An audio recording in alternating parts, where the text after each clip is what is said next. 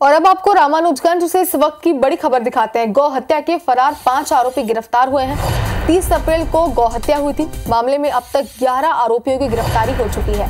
Vijayanagar police की ये पूरी कार्रवाई है तो गौ हत्या के पाँच फरार जो आरोपी थे, उन्हें अब गिरफ़्तार कर लिया गया। और अब तक की अगर बात करें तो कुल 11 आरोपियों की गिरफ्तारी हो चुकी है। 30 अप्रैल का ये पूरा मामला है, जब गौ हत्या की खबर सामने थी। आईबीसी 24 ने इस खबर को प्रमुखता के साथ दिखाया था।